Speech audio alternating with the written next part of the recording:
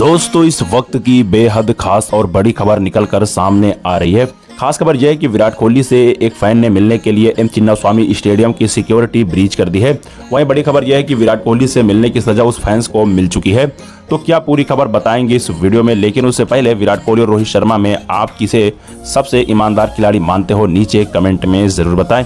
यह बात आज किसी से छिपी नहीं है कि विराट कोहली अपने फैंस से बहुत ज़्यादा प्यार करते हैं और बदले में फैंस भी कोहली के लिए जान निशावर करते हैं। श्रीलंका के खिलाफ दूसरे दिन के खेल के दौरान एक ऐसा ही मूवमेंट देखने को मिला। लंका की बल्लेबाजी के दौरान जब ड्रिंक ब्रेक हुआ तो विराट कोहली श्रेयस अय्यर, जसप्रीत बुमराह मैदान पर खड़े होकर बातें कर रहे थे। तभी स्टेडियम से कुछ लड़के सिक्योरिटी ब्रीच करके विराट कोहली के पास पहुँच गए। फैंस विराट कोहली के साथ सेल्फी लेना चाहते थे और कोहली ने फैंस का दिल नहीं तोड़ा। विराट कोहली ने सभी लड़कों के साथ सेल्फी ली, लेकिन उसके बाद क्या हुआ हम आपको बताते हैं। कोहली ने मैदान पर पुलिस से खुद कहा था कि बच्चों को ना पकड़े। विराट कोहली जितना अच्छा इंसान है, उतने अच्छे खिलाड़ी भी हैं। इसमें कोई भी शक नहीं है, लेकिन फैंस पर सिक्योरिटी ब्रीच करने की वजह से दस हज़ार रुपए का जुर्माना लगाया गया है।